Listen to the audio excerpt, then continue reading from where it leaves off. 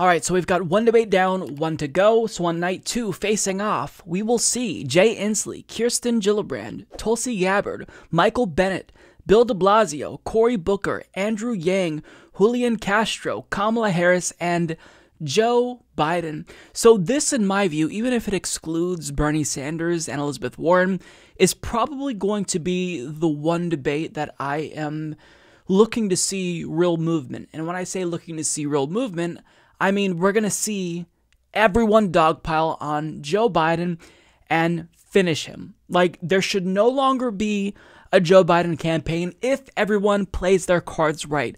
You have to team up you're all against Joe Biden. This is nine versus one. His lead is still large. I mean, it's diminished slightly, but he's not going down fast enough. So if you were on this debate stage and your name is not Joe Biden, take him down. Take him down. Now, the problem is that it's going to be a little bit more difficult this time because Joe Biden is more prepared to, you know, I think, absorb some of these blows. Last time, I don't think he was very prepared for the debate. This time, I think he's probably aware of the fact that there are going to be people who will dogpile on him because he's currently still the front runner. So I think he's going to be aware of it. But if enough people dogpile on Joe Biden, that could bring him down even more, which they all have a vested interest in.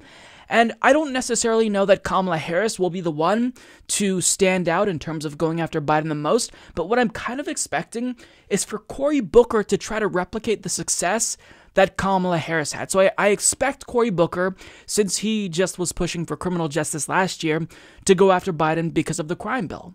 I think if he were to do that and make the case in a way that Kamala did, where it's just, you know, it, it's personal, it's passionate, he could potentially bring down Joe Biden even further. Another thing that I am expecting here is I'm expecting Tulsi Gabbard fully to go after Kamala Harris because we already know that she attacked Kamala, I think it was last week, maybe the week before, and she said that Kamala Harris wasn't qualified. Now, me personally, I wouldn't make the case that another candidate isn't qualified in the age of Trump, just because I don't necessarily know that that's something that's going to resonate.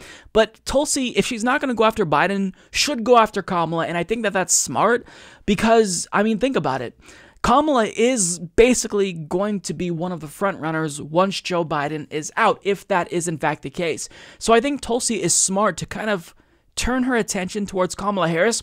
My one thing is that I wish she would have saved her criticism for Kamala because now Kamala is aware of the fact that Tulsi is going to be coming after her, and now Kamala is going to have some type of rehearsed response.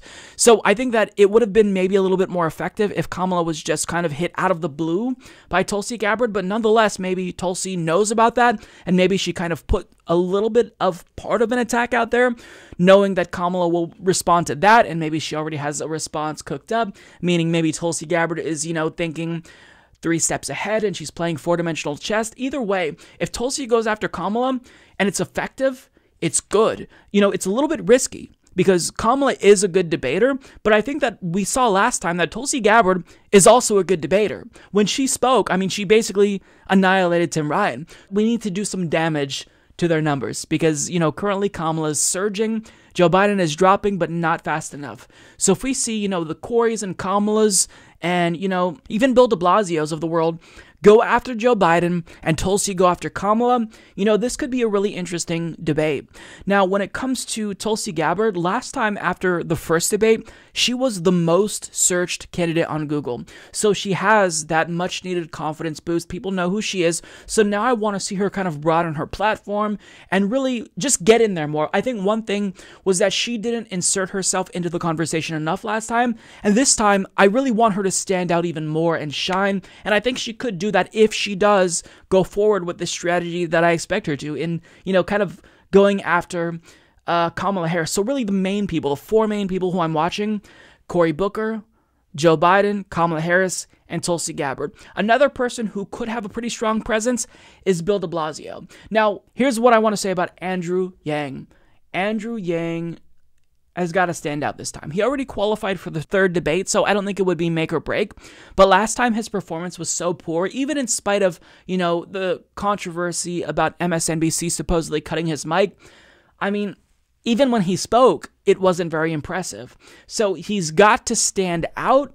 And I don't know how he does that because last time when he talked about universal basic income, there were no fireworks like I expected. You know, there there wasn't much there.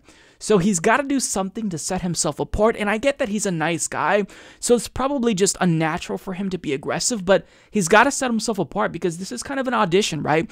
What American voters are looking at is who's going to be the best to take on Donald Trump. We need someone who's assertive, someone who is not going to sit back and just get steamrolled by Donald Trump, who has a big mouth. And Andrew Yang needs to demonstrate to people, I am the one to take on Donald Trump. I'm not afraid of him, and I'm not afraid to call out the people on this debate stage because I'm fighting for the American people. And, you know, I have the right message. I have the winning message. Now, when it comes to Julian Castro, last time his performance was okay. He kind of maintained, but he just didn't do enough to give himself the boost that he needed to basically have momentum to even get to the third debate. And I don't know if he's going to qualify. I suspect that he will. But He's got to pick it up because last time I think it was great for him to go after Beto O'Rourke. He went after Beto on immigration, but now he's got to go after someone like Joe Biden. I mean, if you're Julian Castro and even Kirsten Gillibrand, it would be smart if you tag teamed with Tulsi Gabbard against Kamala Harris because she has a very bad record as a prosecutor in California. So why more people don't use this against her, I don't know. So I'm expecting Tulsi to go after Kamala. And I think it would be smart if people like Kirsten Gillibrand, Julian Castro, who are kind of in the same lane as Kamala, join Tulsi in trying to take down Kamala a little bit because Kamala's going to have her hands full this time. Last time, you know, she kind of came out of nowhere and just annihilated Joe Biden and won that debate. But now, if you are attacking her from both sides, if you have Joe Biden attacking her, she's attacking him, and other people on stage are attacking her, and then she's going to have to fire back. You know, on one hand, you have this conundrum where you could elevate her because everyone is focusing on Kamala, but at the same time, you do need to expose her record because she doesn't have a good record. She's a flip flopper. She's flip flopped on Medicare for All how many times now during this primary? So I think it would behoove Tulsi Gabbard, um, Kirsten Gillibrand, even Bill de Blasio, all to call Kamala out as the flip flopper that she is. Let her go after Biden and you go after her. So that's what I want to see, and that's kind of what I expect. Really, my eye will be on Tulsi, Kamala, and Biden. Uh, and Booker to a lesser extent. I don't know if he's going to be as successful as Kamala. I think he's definitely going to try to replicate Kamala's success. And if he doesn't even attempt it to call out Joe Biden's, you know, crime bill, what a missed opportunity, right? But I mean, we'll have to see.